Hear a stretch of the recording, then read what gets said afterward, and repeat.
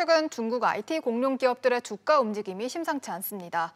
중국 당국의 반독점 규제가 본격화하는 모습을 보이면서 이른바 빅테크 기업들의 주가가 연일 곤두박질 치고 있는데요. 최근 열흘간 상위 4개 기업들의 시가총액이 우리 돈으로 200조 원 넘게 증발했습니다.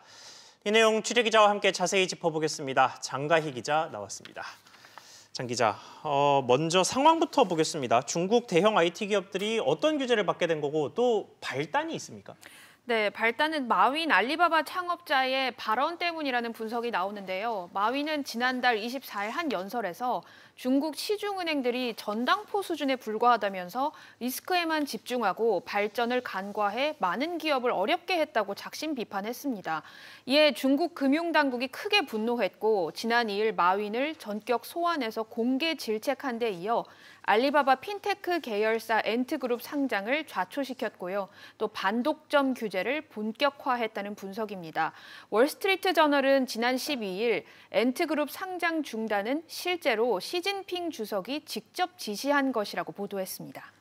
네, 그런데 중국 당국의 타깃이 단순히 알리바바만은 아닌 것 같은데요. 네, 그렇습니다. 텐센트, 징둥, 그리고 핀둬둬, 메이투안 등 빅테크 기업에 전방위적으로 압박이 계속해서 들어가고 있습니다. 중국 정부는 지난 19일 감독기구가 대거 참여하는 반부정 경쟁 부처 연석회의를 신설한다고 밝혔는데요. 우리나라의 공정거래위원회 격인 시장감독총국뿐 아니라 공안부, 사법부, 금융당국 등이, 모두 동참하는 구조입니다. 빅테크 기업들의 시장 지배력이 너무 커졌다는 게 이유인데 중국 온라인 전자상거래에서 알리바바의 점유율은 59%, 그리고 중국판 카카오인 위챗 사용자는 12억 명으로 거의 전 국민이 사용한다고 봐도 무방한데요. 이들의 영향력이 경제뿐 아니라 정치, 사회적으로 퍼 커지면서 이 공산당 일당 체제를 위협할 잠재 요인이 됐기 때문에 이 같은 제재가 시작됐다는 평가가 지배적입니다.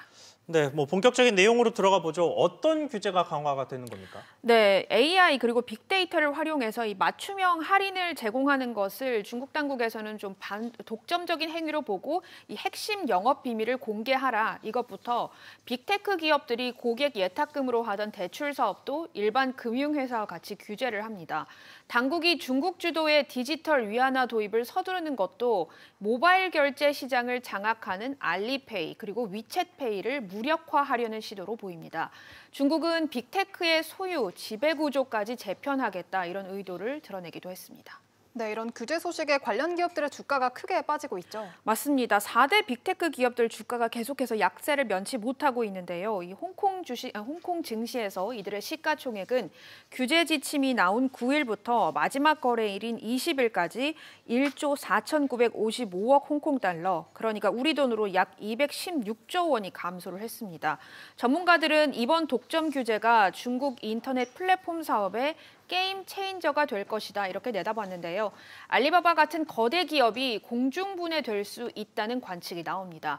하지만 이들의 시장 지배력이 매우 크기 때문에 중국 정부가 대한 기업을 키운다 해도 하루아침에 대체할 만한 기업이 나오기는 쉽지 않다 이런 분석도 함께 나오고 있습니다. 네, 장 기자 잘 들었습니다.